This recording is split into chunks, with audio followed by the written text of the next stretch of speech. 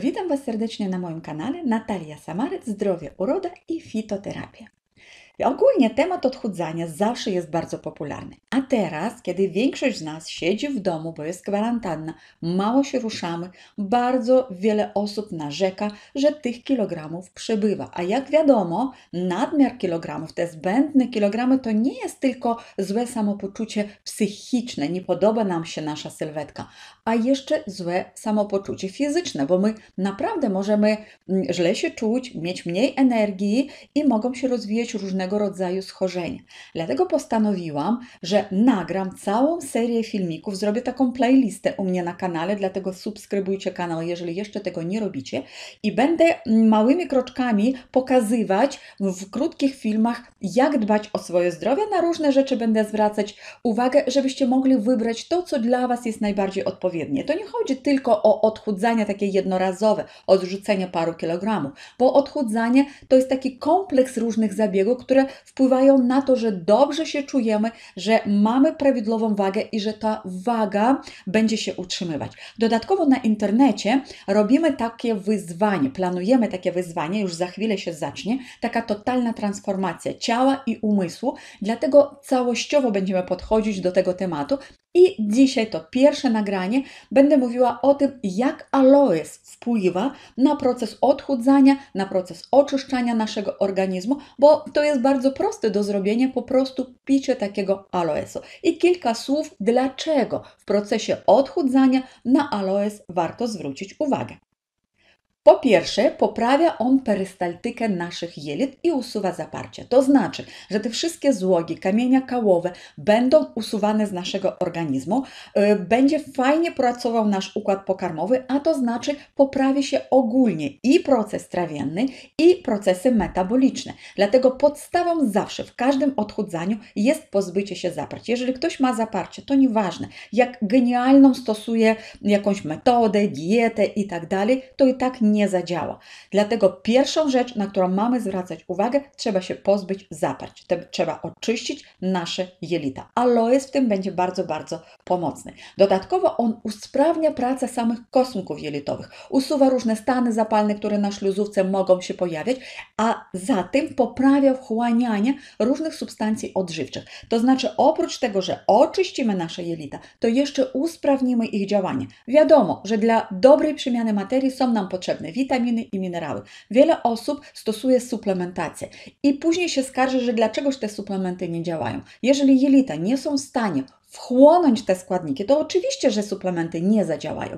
Dlatego trzeba zadbać o to, żeby jelita dobrze funkcjonowały. I aloes jest takim przygotowaniem do stosowania jakichkolwiek suplementów diety witaminowych, mineralnych, ziołowych itd. Tak Dlatego oczyszczamy te złogi kałowe, regenerujemy samą śluzówkę, poprawiamy wchłanialność poprzez stosowanie aloesu. Działa też oczyszczająco i detoksykacyjnie na cały organizm. Nie chodzi tylko o oczyszczanie jelit, chodzi o oczyszczanie wszystkich toksynów, które się zgromadziły w naszych komórkach i w płynach międzykomórkowych. Dodatkowo poprawia aloes florę naszą w jelitkach. To znaczy, on hamuje rozwój bakterii chorobotwórczych, które się znajdują w jelitach i powodują procesy gnilne, natomiast wspomaga mm, pracę tych bakterii probiotycznych, tych pożytecznych, tych, które będą nam produkować różnego rodzaju witaminy, tych, które będą sprzyjać procesowi e, trawiennemu i będą e, sprzyjać naszej ogólnie dobrej przemianie materii. Także dla flory bakteryjnej e, ten aloes jest jak najbardziej wskazany. Ogólnie przyspiesza też przemianę materii, dlatego osoby, które uprawiają sport, powinny bardzo dużo aloesu stosować. No, może dużo nie chodzi o, o dawkę naraz, chodzi tylko o regularność stosowania. Trzeba też pamiętać, że w procesie odchudzania, kiedy spalamy tkankę tłuszczową, to te wszystkie toksyny, które niestety w tkance tłuszczowej się gromadzą, one zaczynają być uwalniane. I dlatego ten aloes w procesie, czy to będzie zwykłe oczyszczanie, czy to będzie odchudzania, modelowania sylwetki, on cały czas powinien być. Może być oczywiście inny produkt, inny, mm, jakieś inne zioła, ale o tym będziemy mówić na, w innych naszych nagraniach. Natomiast jeżeli dzisiaj się skupiamy na aloesie, to pamiętajmy, że on nie jest tylko w tym przygotowawczym etapie jako oczyszczanie z toksyn organizmu, tylko cały czas, żeby pomóc organizmowi sprawnie działać w procesie odchudzania i modelowania sylwetki. Bardzo ważną rolą e, aloesu jest to, że on przywraca równowagę kwasowo-zasadową w naszym organizmie. Inaczej mówiąc, odkwasza organizm, szczególnie jeżeli no, nieprawidłowo się odżywiamy. Jednak za dużo mamy tego cukru, w ogóle węglowodanów prostych, jeżeli mamy za dużo, to ich zakwaszamy. Natomiast nie zdajemy sobie też sprawy, że czasami nawet stosując jakieś zielone warzywa i owoce, możemy zakwaszać nasz organizm, bo szczawiany w wielu produktach spożywczych się znajdują.